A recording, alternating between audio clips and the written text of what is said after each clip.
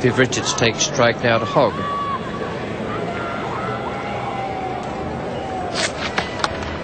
And that's in the air, just short of the fielder. At mid-wicket, Kim Hughes came in. He was rather on his heels, seeing Richards going back for the hook shot.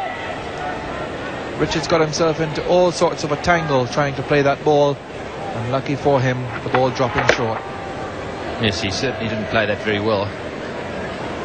Decided just a little bit late, I think, that he was going to try and pull that away.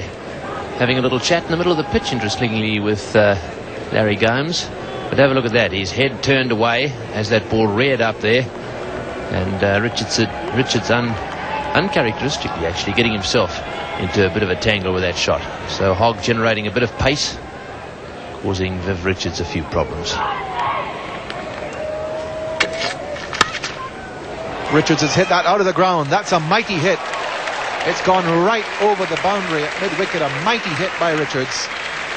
Haven't seen much of vintage Richards this season so far, but that was a glorious shot. Well, that's where he likes them, around about leg stump.